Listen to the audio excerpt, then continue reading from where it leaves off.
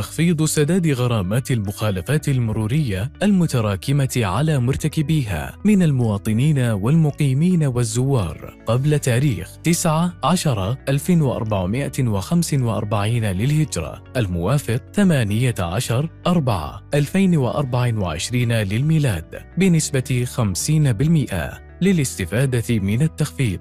المبادرة بسداد جميع المخالفات المرورية المتراكمة خلال ستة أشهر. بدأت من تاريخ 18 4 2024 للميلاد وتنتهي بتاريخ 18 10 2024 للميلاد. ولا يتطلب ذلك التسجيل في أي مواقع أو زيارة مقر الإدارة العامة للمرور.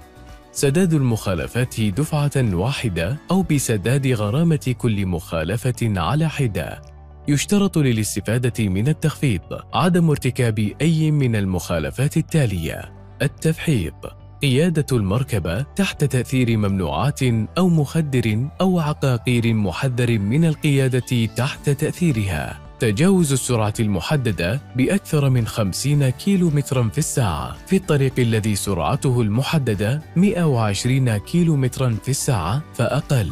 تجاوز السرعة المحددة بأكثر من 30 كيلو مترا في الساعة. في الطريق الذي سرعته المحددة 140 كيلو مترا في الساعة.